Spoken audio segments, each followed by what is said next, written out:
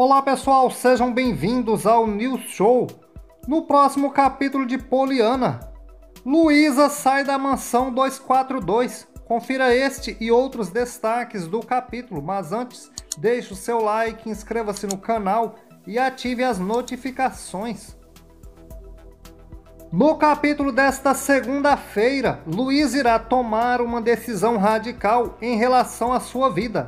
Após passar mal na mansão e ver que não consegue provar nada contra Otto, Luiz irá tomar a decisão de sair da casa do empresário.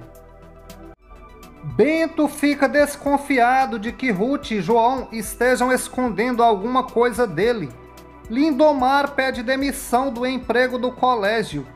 Marcelo conversa com Débora e pergunta o porquê dela está inventando e espalhando mentiras sobre ele na Ruth Goulart.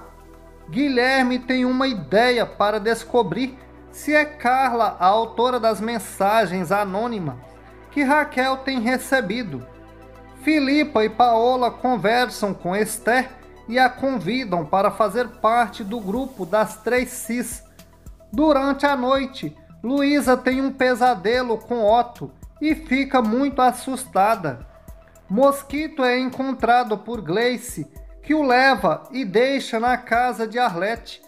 Ruth conversa com Elô e revela que João é seu sobrinho perdido.